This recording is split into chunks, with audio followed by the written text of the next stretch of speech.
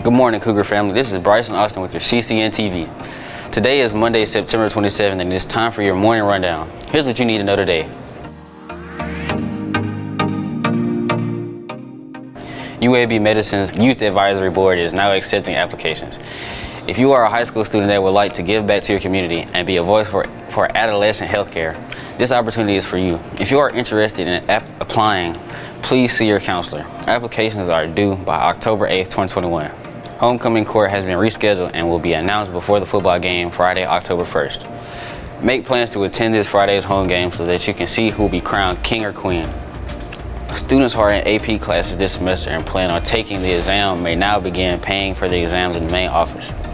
The price for each exam is $20 and students on free reduced lunch and $76 on paid lunch. The deadline is to pay November 5th. This, only, this is only for first semester classes and third block classes. And finally, make sure to come out tomorrow to support our Clay Chalkville High School girls flag football team at their first home game. They will take on Gardendale at 5 p.m. This has been Bryson Austin with your CCN TV Morning Rundown. Have a great day, CCHS.